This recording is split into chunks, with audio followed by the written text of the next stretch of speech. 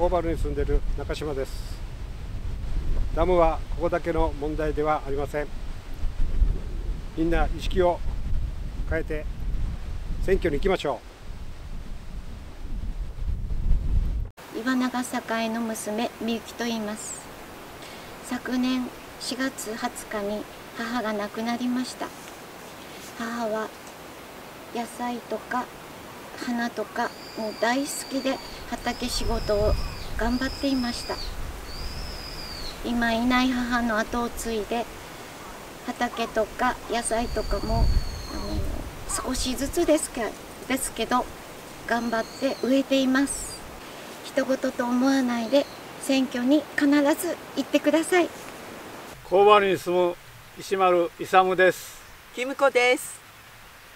一人一人を大切にする長崎県を作るために選挙に行ってください。選挙に行ってください。高原に住んでいる岩本です。長崎県は五十数年前計画された意識ダム計画を最近になり喫緊で必要不可欠な事業として地元の地権者の同意なしに強引に進めています。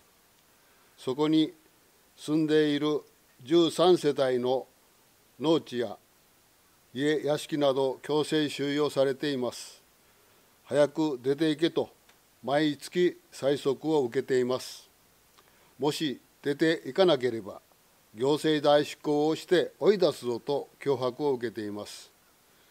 人権を無視した長崎県政をあなたの一票で変えてください。お願いします。コーバルに住んでいる川原信也です。石木ダムは本当に必要だと思いますか？今度の県知事選にはぜひ行ってください。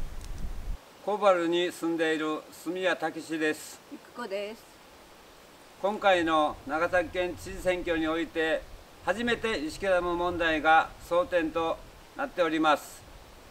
皆さん選挙投票に行きましょうコーバルに住んでる岩下秀夫と言います。久子です。私たちのこと考えてください。お願いします。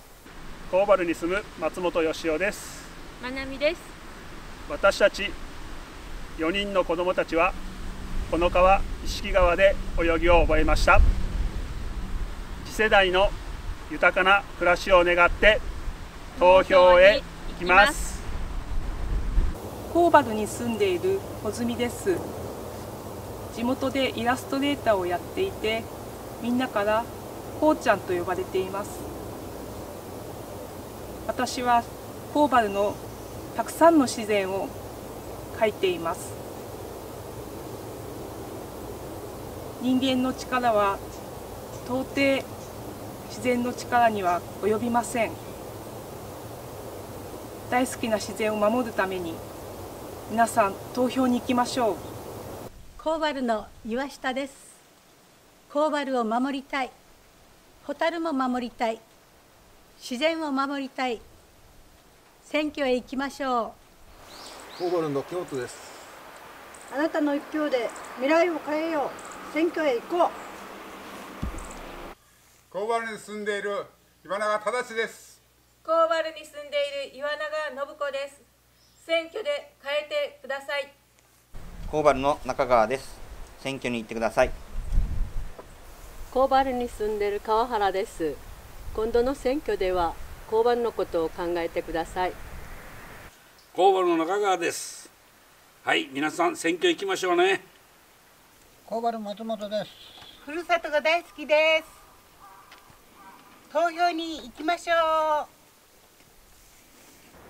コーバルに住んでる松本松です。もう95歳にもなりました。皆さん元気で選挙に行きましょう。コーバルに住んでる住谷です。子どもたちの未来のことを考えて選挙に行ってください。コーバルの川原夫妻と言います。一日も早く安心してした暮らしをしたいので皆さん揃って選挙にも行ってくださいお願いします。